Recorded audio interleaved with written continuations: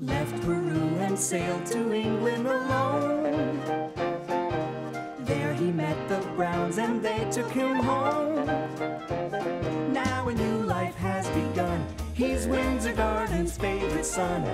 Cause he always does his best to help everyone. When a problem appears, he never misses a beat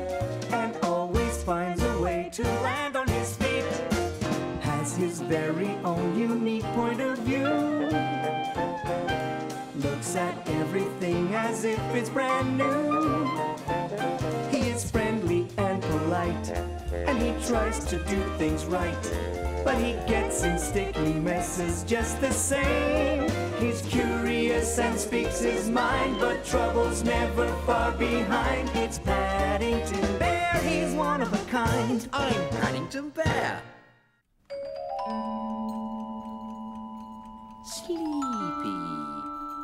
Are getting sleepy.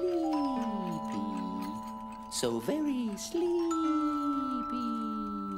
No, we're not, Paddington. We've only just woken up. I didn't mean you, Mr. Brown. I meant me. I'm trying to hypnotize myself with this book Mr. Gruber gave me. Hypnosis for beginners. Hmm. Mesmerizing, I'm sure. I wouldn't go hypnotizing yourself, Paddington. It could be dangerous. Who'd bring you out of it? Hmm. I hadn't thought of that, Mrs. Brown. You just need to find yourself some suitable subjects. I didn't mean us. Shh, Henry. You're interrupting the amazing Paddington. Ladies and gentlemen, prepare to be uh, um, amazed. Thank you. Thank you. What's going on? It sounds like a party. Why haven't I been invited? Can I have a volunteer from the audience? Thank you, madame. But I want to go shopping before the market gets too crowded. Then again, I suppose I could spare a few minutes. That's it. Just relax. You are getting sleepy. Sleepy. You are getting sleepy. Mrs. Bird, can you hear me? Hello? The subject is now in a deep hypnotic trance. Mrs. Bird, every time you hear the sound of a horn, you will act like the first animal that pops into your mind. Oh, oh, oh goodness. Look at the time. I dozed off. I must get on with the shopping. Never mind, Paddington. Mrs. Bird is a very tough subject. It takes a pretty weak mind to be hypnotized. Ribbit.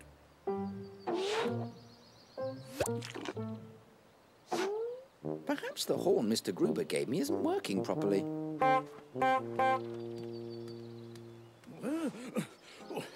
What happened? I, I must have blacked out. That's what comes of running out of breakfast cereal. I must get some provisions from the market.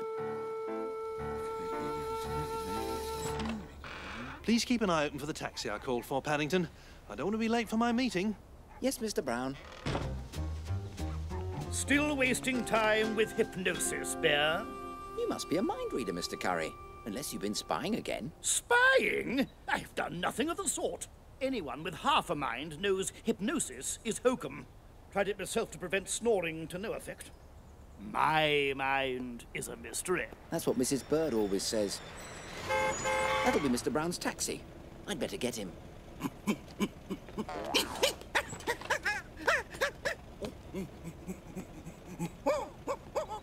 Blimey! He doesn't need a cab. He needs someone to take him to the loony bin. Help!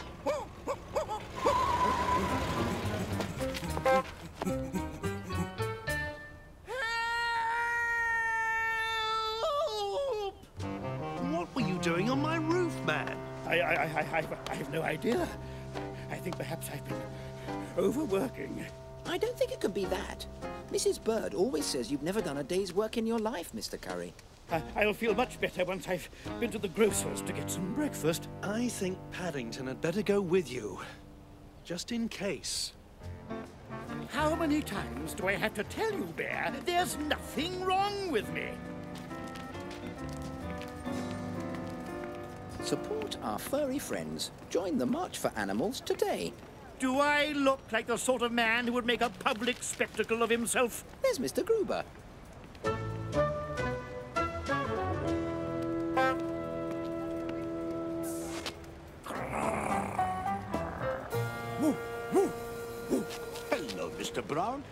Where are you off to today? Mr. Curry and I are going to the cut price grocer. Uh, Mr. Curry? I better see if I can find him. Come back, you miserable cur!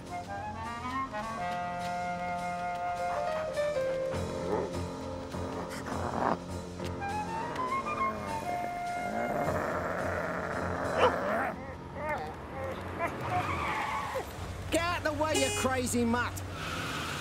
There you are, Mr. Curry. I see you've already done some shopping. Uh, what are you talking about, Bear? Are we going to the cut price grocer or not? And to think this rabble wanted me to join their protest. Come on, Bear. Oh dear, I'm stuck. Paddington, what are you doing here? Mr. Brown sent me with Mr. Curry in case he has another of his uh, funny turns. Funny turns?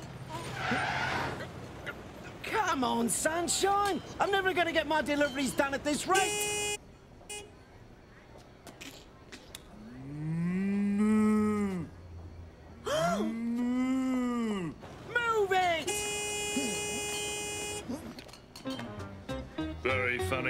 But you're disturbing the other customers. Unhand me! There's been a mistake! Acting like a cow. This is terrible. Oh, I'm sure you made a very good cow, Mr. Curry. Will you please all get out of my way? Mercy me. Paddington, your hypnosis act must have worked better than anyone imagined. We'd better catch Mr. Curry.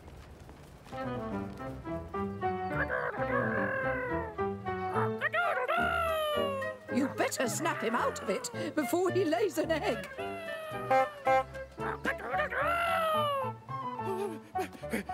Where, where am I? What's going on? I think I must have hypnotized you by mistake, Mr. Curry. What? It's your own fault for being such a nosy Parker. Now calm down, and Paddington will unhypnotize you. I haven't got to that part yet. Bear! Meow! Why don't you leave Mr. Curry like this for a little while? He's much nicer than usual.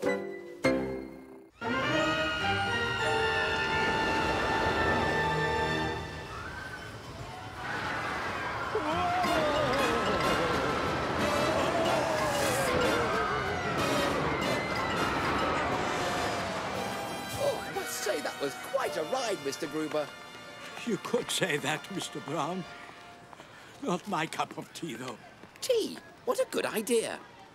And a cream donut would go down well. Mr. Gruber! Ready for your backstage tour of my amusement park? Say, are you all right? Oh, yes. Well, why, yes, I'm fine. It's just the jet lag catching up with me. This is quite a park you have here, Mr. Daniels. this is nothing. Follow me, because I have a big surprise for you. I wonder where Mr. Brown has gone to.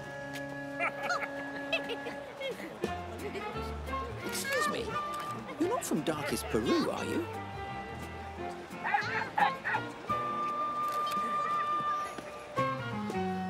Ah, this must be Mr. Brown.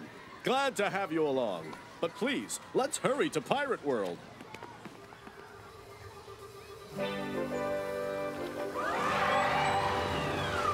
This, my friends, is the most technologically advanced theme park ride in the world.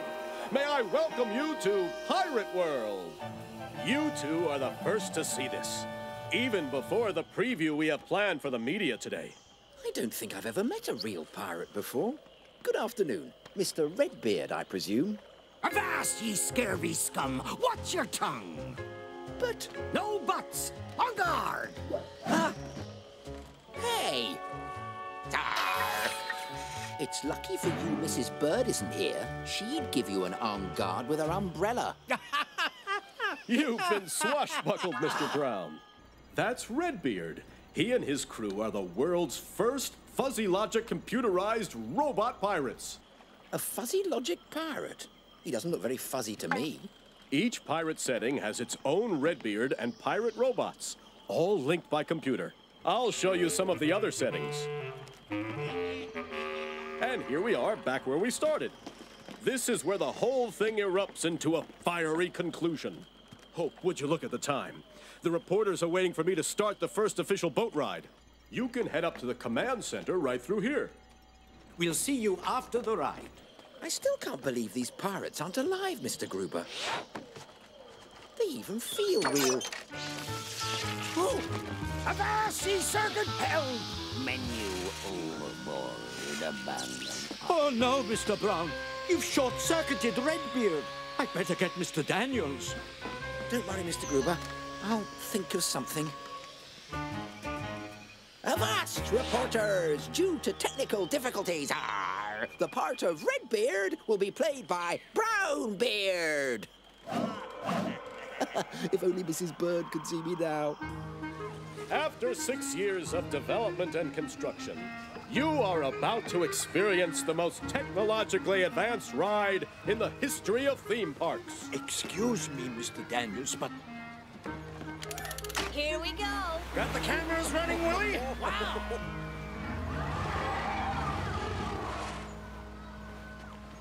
Hey, what? Oh, I'll be ruined. Come on, we have to do something.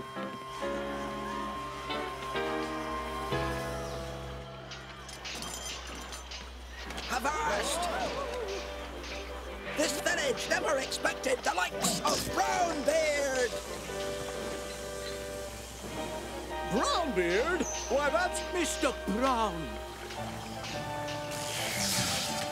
This is great. Wow! Arr, here come the Navy to grab our booty! Shall we blast him, Redbeard? Brownbeard, if ye don't mind, ye swabby! Open fire! I don't believe it! Those shots aren't even close. That got their attention, mateys! Fire at will! You heard it, boys! Come and get it if you will! Oh, that is it. Look at that! He's firing at the reporters. Oh, I beg your pardon, Mr. Daniels. Um, I mean, uh, I'm sorry I missed. He knew Marvelous his name. interactivity. That shot was This close. is fantastic.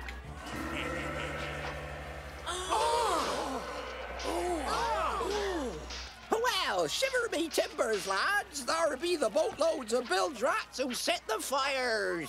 We have to get in their boats. Shall we swing in from the mainsail mast, Captain? Um, why not? I mean, um, aha! You do that whilst I engage in dangerous sword play.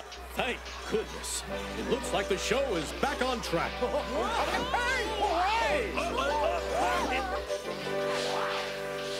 Aha!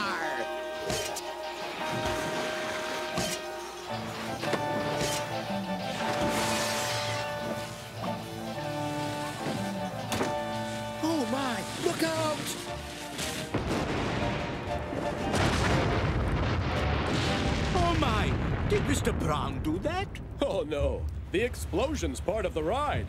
Then your ride is a success. Aha! Blimey, mateys! Swing from the yard arms! An experience of a lifetime! You've done it again, Mr. Daniels. The pirate bear was a great twist. This one's really gonna put your amusement park on the map. I think I must have pushed the wrong button by mistake. No apologies. Didn't you hear the reporters? Brown Beard is a smash. Say, how'd you like to work for me in Pirate World full time? That's very kind of you, Mr. Daniels. But I think I have an even better idea. Avast ye lads! Hmm. Why did I take this job?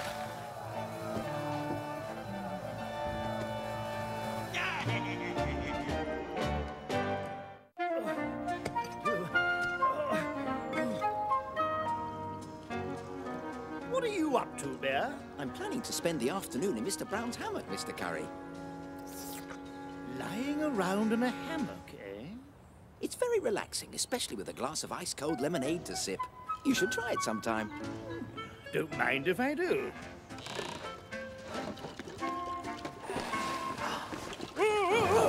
Ah! My toe! Oh, Mr. Curry, are you all right? No, I am not all right. I think you've broken my toe. Let me help you up. Stay away from me. Perhaps you shouldn't walk on it, Mr. Curry. When Mr. Brown sprained his ankle, the doctor told him to rest in his bed for a week. Hmm. But, Mr. Curry, I didn't mean Mr. Brown's bed. Don't you think your own bed will be more comfortable? I'm very happy where I am, except I shall need some ice for my ankle. Your ankle? I thought it was your toe. Uh, yes, uh, well, uh, it's both. Hello, Paddington. Is that ice? Yes, Mr. Brown. Whatever is it for? It's rather a long story, Mrs. Brown. You'll have to tell it to me later. I'm going up to my bed to lie down. I wouldn't if I were you, Mrs. Brown. Why ever not, dear? You'll see.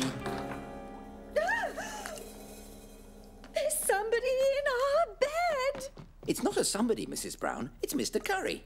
He's hurt his toe and his ankle, so he's come to recuperate. Mr. Curry in our bed?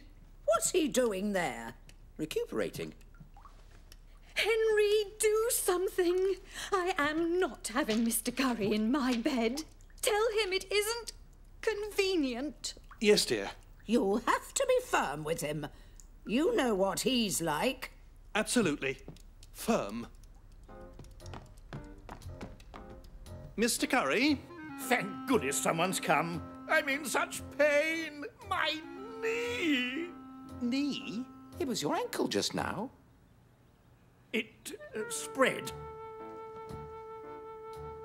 I'm uh, sorry to hear that, but. Uh... Mrs. Bird said to be firm. now, Mr. Curry, I've come to explain that. Did that bear of yours tell you this is all his fault? How? Things do have a way of happening, but. But if you want me to go, if it's too much trouble to look after me after I've been damaged by your bear, just say the word and I'll go home. Though I wonder what the authorities would say if they found out.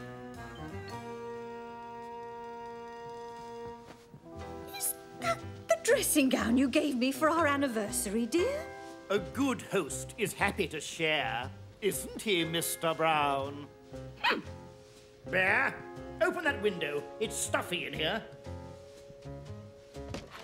Oh, oh. Mrs. Brown, would you fluff my pillow? Huh? And I need another blanket. It's freezing in here. Here you are, Mr. Curry. Tomato soup, just like you wanted. Where's the bread? You don't expect me to eat soup without bread, do you? Whoa! Uh.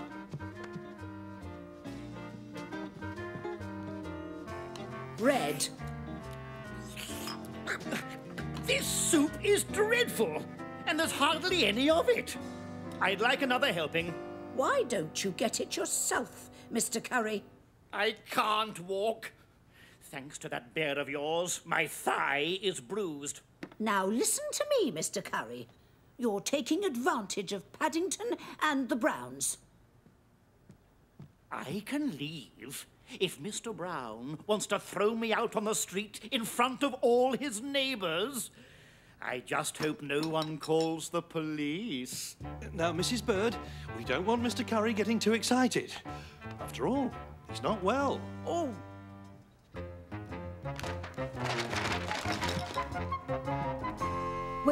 Out shopping, Henry. I can't stand it another moment. I hope you've got rid of Mr. Curry by the time we get back. Here, here. Either that man goes or I do. Bear! Bear! Where's that snack? Work, work, be a good host, help, help, If If your guests should need some care, be real helpful while they're there. Sometimes it takes sacrifice to wait on someone who's not nice. Work, work, be a good host. Help, help, give it your most. Work, work, work, work. Help, help, help, help. Dim the light, turn down the bed, fluff a pillow for their head, close the window, shut the door, a nice warm blanket, anything more? If it's a nap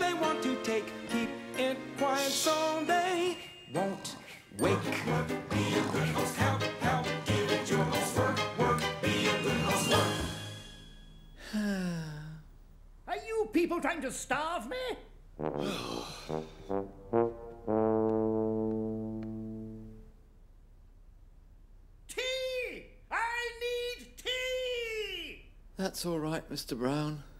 It's my turn.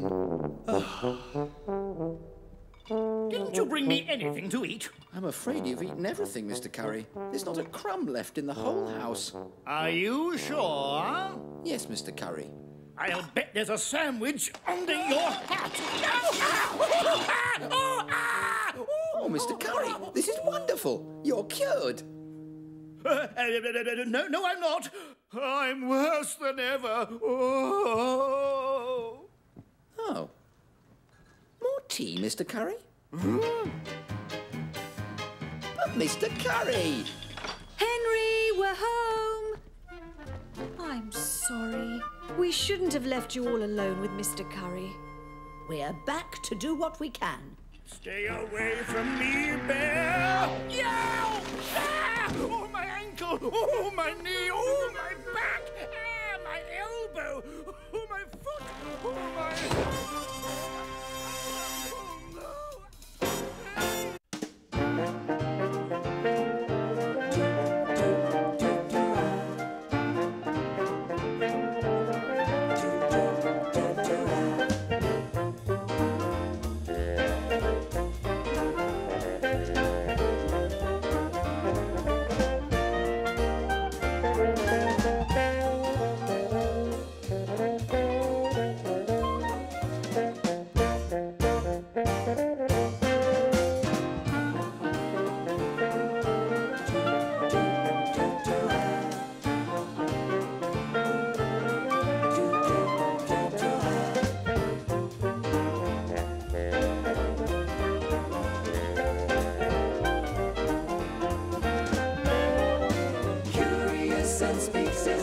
but troubles never.